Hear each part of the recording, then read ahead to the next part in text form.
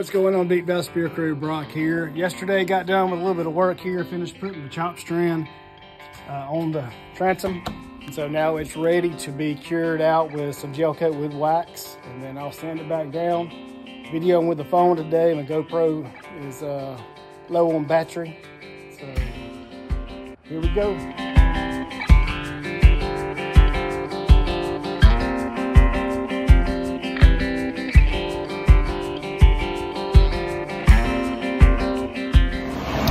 I got going on here is I am getting ready to fair the transom. So I've got this fairing compound. It calls for 15, 14 to 16 drops per ounce of compound. So I took my scales and I measured this. One cup by weight is equal to 16 and a half ounces of compound. So that equates to uh, roughly 100 drops cup.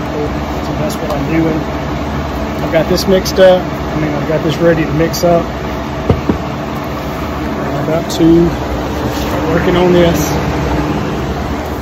That's 20 wheels of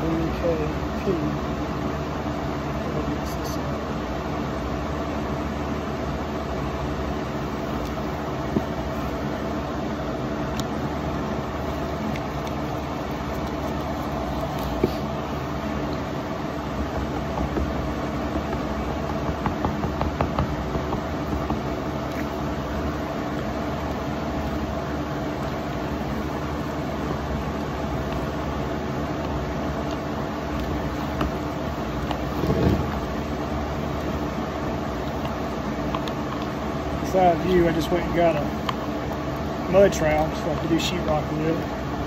Lowe's. Got a couple different size knives. Cutting knives, spackle knives, whatever you want to call them. According to the directions, I should have about 15 to 20 minutes of work time. It's about 70 degrees.